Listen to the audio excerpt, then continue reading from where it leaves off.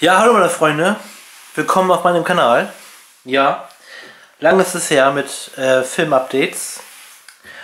Ja, gut, was heißt lang, aber ist schon ein bisschen her. Ja, ich hatte erst vor kurzem Geburtstag und habe da was, äh, ja, paar Sachen bekommen, paar, paar Filme und habe selbst noch ein paar Filme gekauft im Laden, ein paar Schnäppchen gemacht. Ja, die stelle ich euch jetzt eben ähm, kurz vor. Fangen wir an mit äh, meinen Sachen, die ich gekauft habe im Laden, günstig. Ja, fangen wir mal an. Ja, Howling. Äh, The Killer in Dir. Habe ich ganz günstig bekommen. Für 1,99. Aus dem Kick. Ja, habe ich mir mal mitgenommen, spontan so mal geguckt, so ja, vielleicht ist da ja was, klingt nicht schlecht, so die Story so ein bisschen. Habe ich mir gegönnt. So, das war Nummer 1. Dann habe ich mir das hier gegönnt. Operation Chromite mit äh, Liam Neeson. Die Story und der Trailer war auch nicht schlecht, habe ich mir mich vorher mal so ein bisschen erkundigt so. Ja, vor längerer Zeit habe ich den da auch spontan gesehen bei Kick, auch für 1,99. Ist auch soweit wie ich weiß auch umgeschnitten. Ja, auch nicht schlecht. Ja, das war Nummer 2. Jetzt kommt noch einer. Tada! Inside Man. Ich meine, dass ich den letztens noch beim Mediamarkt gesehen habe für 14 Euro. Natürlich auch für 1,99 bei Kick. Ich meine, den habe ich da wirklich auch gesehen beim Mediamarkt, dass der da irgendwo stand für, für 14 Euro oder so. Der soll auch ganz gut sein, so die Story habe ich so jemals mit, mit Aufruhr und, und Korruption. Aber so genau weiß ich das jetzt auch nicht und das, so wie, soweit ich auch weiß, auch geschnitten. Ja. Wendecover. Ja, es kommt Film Nummer 4. Terminus. Ja, lag da auch rum bei Kick, auch für 1,99. Soweit ich weiß, ist er auch umgeschnitten. Weil ich schaue immer, wenn ich mir die kaufe, dann gucke ich mal ein bisschen danach, ob die geschnitten sind, ungeschnitten. Ja, ich habe schon einige Fehlkäufe gehabt, aber jetzt macht man das immer vorher. Oder wenn man, ja gut, bei 1 Euro Film ist es egal, da guckt man nicht nach eigentlich, aber im Nachhinein habe ich nochmal nachgeschaut, aber ist auch ungeschnitten, soweit ich weiß. Ja, Story ist auch so mit, ja, fliegt was auf die Erde, ist irgendwas Außerirdisches, da werden irgendwelche Leute mit infiziert und ja, so irgendwie sowas ist das. Also ganz genau weiß ich das noch nicht, ich kenne ihn noch nicht so. Im Trailer habe ich mir höchstens nur angesehen, aber ja, auch nicht schlecht für 1,99. Ja, jetzt kommen wir zu meinen Geburtstagsgeschenken von meinem besten Freund. Ja, Snuff Tape Anthology von Black Lava, El Gore Snuff Tape. Ja, ein Special-Geschenk von ihm, da habe ich mich sehr drüber gefreut. Das ist mein erstes Black Lava, äh, meine, meine erste Black Lava DVD. Also ich liebe ja auch solche Sachen, also von daher so etwas härtere Sachen. Ja, das ist mein Special-Geschenk von ihm, habe ich mich sehr drüber gefreut. Und da war noch eine äh, Beipack-CD dabei, ein Soundtrack als Austausch-CD, weil auf der anderen Soundtrack-CD waren irgendwie halt Fehler und jetzt habe ich halt die dabei bekommen. Aber sehr gut. Perfekt. Ja, dann fangen wir mal an mit dem nächsten. Patrick habe ich auch bekommen von ihm als Geschenk. War als gratis Versandgeschenk dabei, hat er mir dann auch noch mal extra geschenkt. Also es gibt es als gratis Versandgeschenk. Hat er mir dann noch gegeben. Kann ich auch noch nicht so viel zu sagen. Patrick. Nur Trailer habe ich halt nur gesehen. Ja, das war das. Jetzt kommt das nächste. Auch als Geschenk von ihm. Ein Casino. Der hat mir noch gefehlt. Jetzt habe ich ihn endlich. Perfekt. Auch alles ungeschnitten. Casino. Sehr geiler Film. War auf meiner Wunschliste. Jetzt habe ich ihn. Ja, jetzt kommt noch ein Geschenk. Auch von meinem besten Freund. Ja, Shutter. Der ist richtig geil, der Trailer. Also wo ich den gesehen habe, heftig. Und natürlich nicht nur den, natürlich auch das Remake. Ja, Shutter Remake. Ich muss sagen, der Remake ging, war gut, aber der, der, der originale Shutter, also der rechte hier, den habe ich noch nicht ganz gesehen, nur trailerweise. Also ich muss sagen, von den Trailern her war der, die Erstauflage hier am besten. Aber ich bin froh, dass ich beide habe, weil ich feiere ja solche Filme. Die sind ja so eine Art wie The Watch mäßig, wie Call mäßig, so ein bisschen so alt gehalten von denen. Also ich finde finde die richtig gut, die Filme. Beide jeweils auch umgeschnitten. Der ist in der Extended Version, Version. Beide auf DVD, aber top. Jetzt habe ich die auch endlich. Perfekt. Ja, da kam noch was ganz Besonderes. Auch noch ein Geschenk.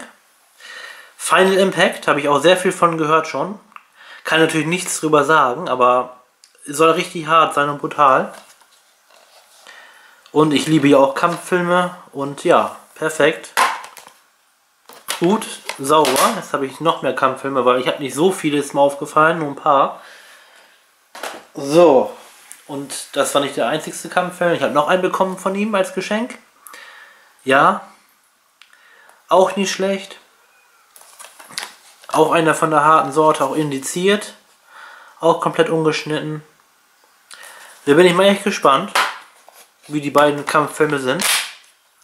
Auch einer von der, von der alten Sorte, auch die Filme. Ja. Bin ich mal echt gespannt. So, ich werde auch nicht so viel sagen, es kommt noch einiges. Also, ja, da habe ich noch was richtig Geiles bekommen von meiner Frau. Ja, Prison Break. Die komplette Serie. Ah, was heißt die komplette Serie? Es gibt ja schon die Final Season, äh, Season 5. Die hole ich mir aber noch nicht, weil die noch äh, viel zu teuer ist. 30 Euro für ein paar Folgen nur, das ist, da warte ich noch ein bisschen. Hier sind auf jeden Fall die alle, die ganzen alten Season drin, die man noch kennt von damals. Season 1 bis 4 und The Final Break. Muss ich ehrlich gesagt, ehrlich nochmal sagen, Final Break, Break habe ich noch nicht gesehen. Weiß ich nicht, aber die anderen Teile habe ich gesehen, die anderen äh, Staffeln. Echt geile Serie, kann ich auch nur empfehlen. Ist sehr geil, habe ich mir auf Jahre schon, immer wollte ich mir die holen, habe das immer aufgeschoben, aber jetzt habe ich die, bin echt stolz drauf. Prison Break kann ich nur empfehlen, Leute. Kauft euch die mal oder schaut euch die mal irgendwo an im Internet, richtig geil. Ja, das war ja noch nicht alles. Jetzt kommen wir zu meiner ja, heutigen Ausbeute, sage ich mal, oder die in dem Monat, jetzt Anfang bis Ende letzten Monats, habe ich mir noch ein paar Filme so gekauft. Ja, fangen wir mal weiter an. Noch ein Kampffilm. Leon. Van Damme, ich feiere ihn. Ich habe ihn schon immer gefeiert. Jetzt habe ich auch so circa 5, 6 Van Damme Filme, aber ich hole mir noch ein paar, paar Filme noch. Auch richtig geil. Also allgemein Van Damme Filme sind geil, Leon sowieso. Also ich habe da so auch ein paar Favoritenfilme auf jeden Fall, aber auch der ist auch richtig geil. Auch Uncut, Remastered, HD. Ja, kann ich auch nur empfehlen, Fandam, Leute. Ja, dann geht's weiter. Dann habe ich mir einmal die Hangover-Trilogie gekauft, Blu-ray. Soweit ich weiß, auch ungeschnitten. Richtig geil, jetzt habe ich es auch endlich mal. Die wollte ich mir auch schon immer zulegen, aber ich war zu bequem, zu faul, keine Ahnung. Aber jetzt habe ich, jetzt hat mich richtig die Filmsucht gepackt, sage ich mal. Jetzt habe ich sie endlich auch alle. Also Hangover-Trilogie, sehr witzig, Leute, sehr spannend auch so ein bisschen. Ja, ich finde es einfach richtig geil, sage ich nur. Also kauft euch das. Ja, wenn ihr wollt, wenn ihr nicht wollt, aber ist geil. So, es geht weiter. Ja, die Gremlins Collection Double Feature 1 und 2. Ja, endlich habe ich sie. Ah, wie ich die gefeiert habe damals, wo man noch kleiner war und die gesehen hat, hatte man ein bisschen Angst davor. Aber richtig geil soweit ich weiß, auch ungeschnitten. Habe ich auch nachgeschaut. Schnittberichte und so. Richtig geil. Die Gremlins. Ja, weiter geht's. Tada! Ja, König der Löwen, meine Freunde. Ja, das ist mein Kindheitsfilm. Habe ich zigmal geschaut. Kann ihn immer noch zigmal schauen. Bis zu sonst was. Ja. Aber ja, Kindheitsänderungen kauft man sich gerne. Ja, Macht Spaß, sich anzusehen. Ja. Weiter geht's. Tada! Don't Knock Twice. Trailer war geil.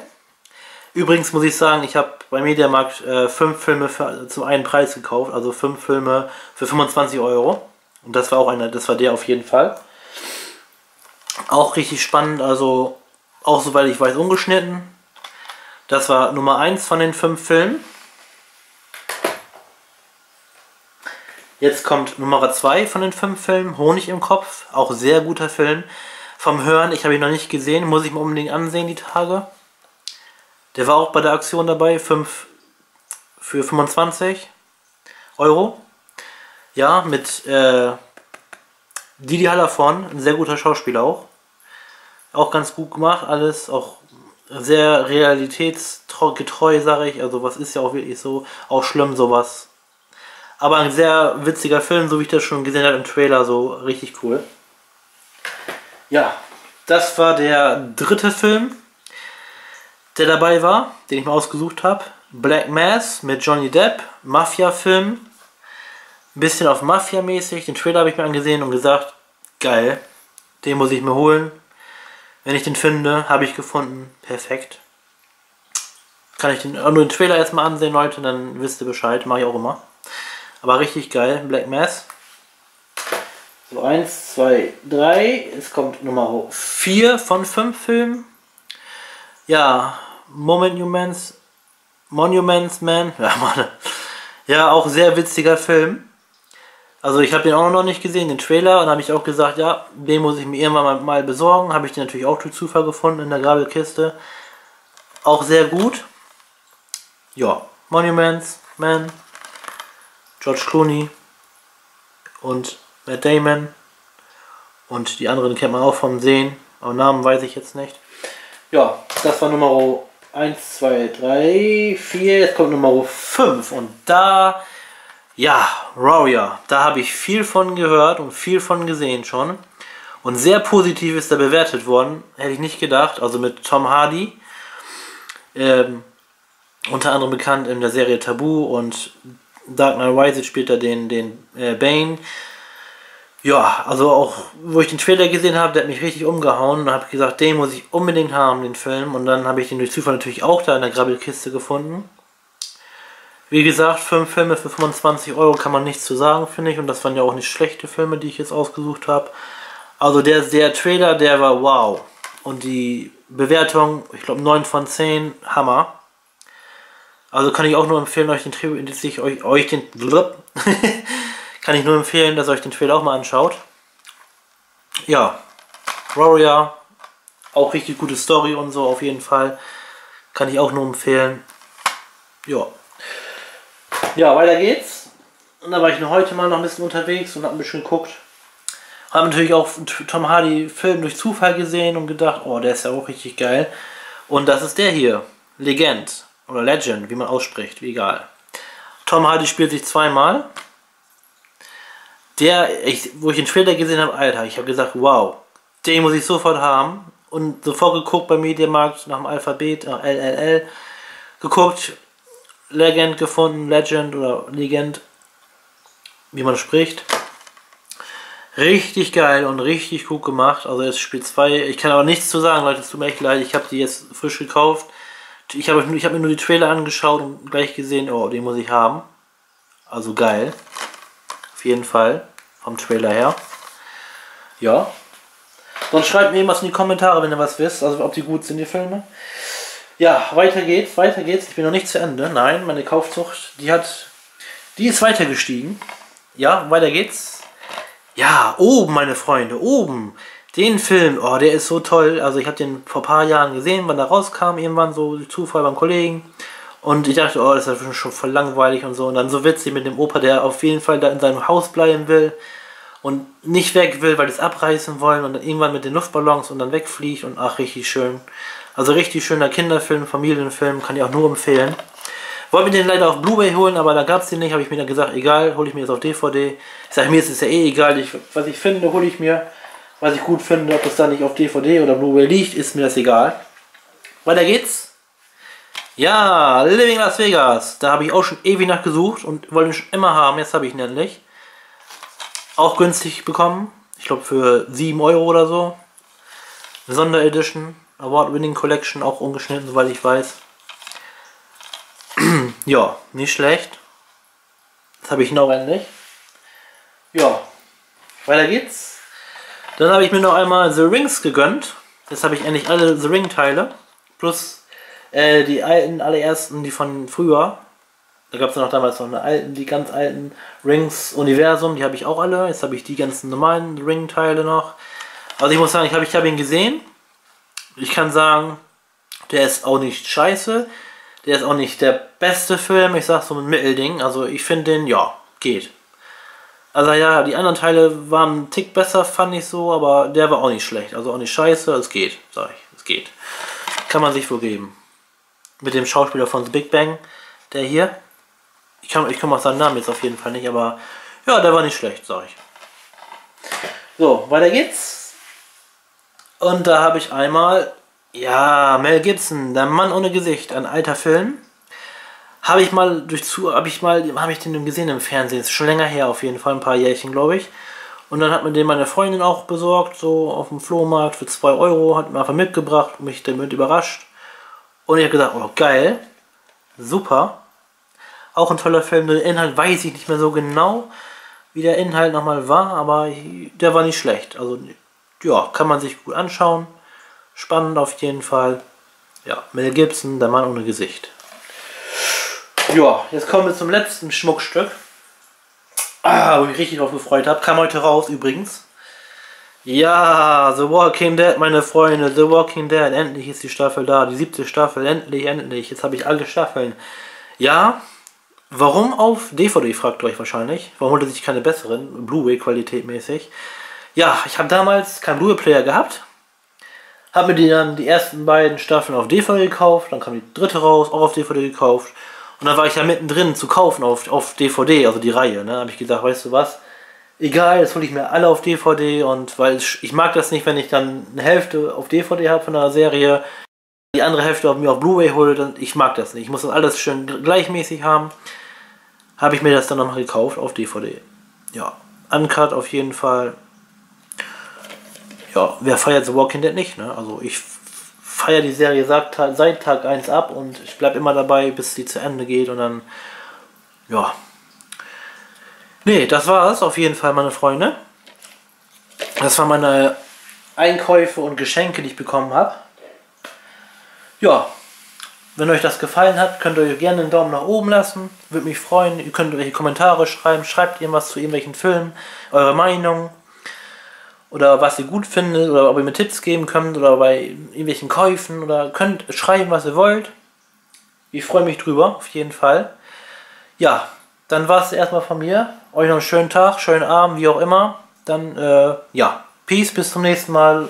Ja, haut rein.